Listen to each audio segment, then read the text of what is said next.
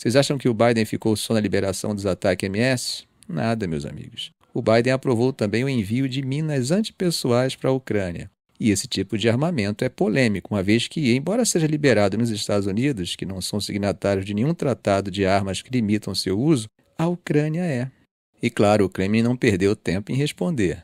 Peskov deixou bem claro: congelar o conflito do jeito que está, com as linhas de frente atuais, não é uma opção aceitável para eles.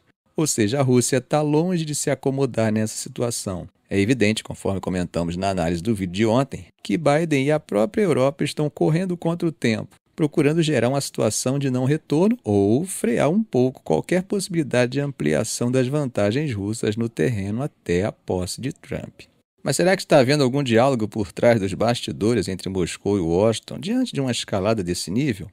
Foi em um momento tenso como esse que Moscou e Washington passaram a compartilhar uma linha para se comunicar, eu estou falando do famoso telefone vermelho entre Moscou e Washington, que na verdade não era nem vermelho, né?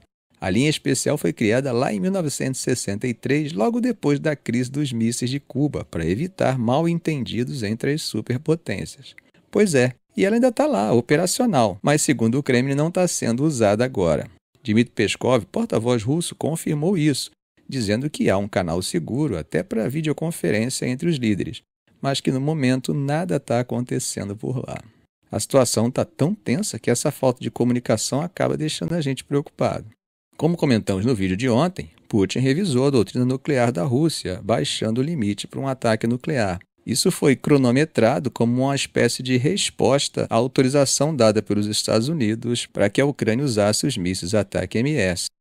Moscou afirma que a utilização desses mísseis pelo exército ucraniano só seria possível com apoio operacional direto dos Estados Unidos. Então a mensagem deles é bem clara: que se Washington está ajudando a lançar esses ataques, então isso é praticamente uma declaração de guerra direta. Como falamos, os ataques MS e agora os Storm Shadow atingem alvos da Rússia. Por enquanto, nós só tivemos palavras e avisos de retaliação. Dmitry Peskov falou que o Ocidente está usando a Ucrânia como uma ferramenta para tentar derrotar estrategicamente a Rússia. Ele ainda reforçou que a atualização da doutrina nuclear russa serve para lembrar aos inimigos que qualquer ataque ao país vai ter uma resposta inevitável. A gente fala assim de uma forma natural, gente, mas a situação é muito mais séria do que a maioria dos líderes mundiais estão dando conta. A frieza e o movimento calculado pode falhar em algum momento, e em situações como essas, as consequências são imprevisíveis.